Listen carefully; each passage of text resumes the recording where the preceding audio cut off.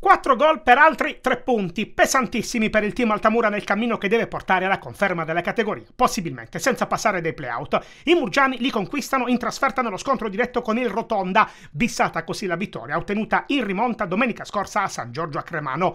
La salvezza resta tutta da conquistare, ma con 6 punti in più, tutti collezionati in 4 giorni, la strada sembra essere più agevole per il collettivo del presidente Michele Calia, grazie anche e soprattutto alla netta affermazione del Disanzio, 4 a 1 secco che non lascia spazio ad interpretazioni. Ci mettono meno di due minuti i pugliesi per dare un'impronta ben precisa alla contesa e lo russo con scaltrezza a trovare il guizzo in aria che porta in vantaggio gli altamurani. Polizia è battuto 0 a 1. La replica del Rotonda è affidata all'acrobazia di Ferreira deviata in calcio d'angolo da Salla, poi è Boscaglia da fuori aria ad impensierire non più di tanto per la verità Giuliani. A metà frazione invece Giordano non imprime la giusta potenza al suo colpo di testa. L'Altamura decide di tornare in cattedra per ipotecare il successo. Canute non c'entra il bersaglio da buona posizione posizione. Il raddoppio è servito quando su corner di Lucchese funziona bene il blocco dei biancorossi che trovano l'acuto del 2-0 con Sal.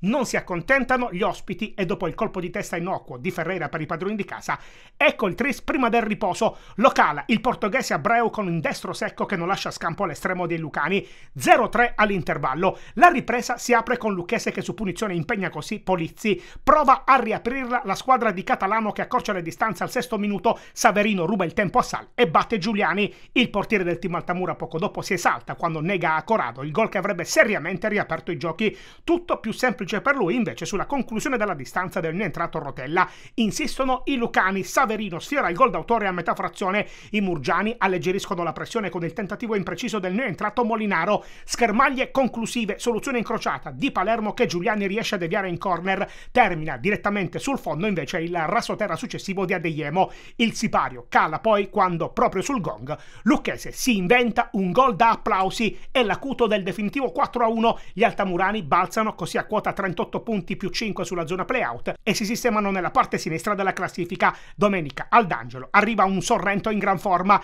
Il Rotonda invece completerà il trittico in 8 giorni al Capozza nello scontro diretto esterno con il Casarano.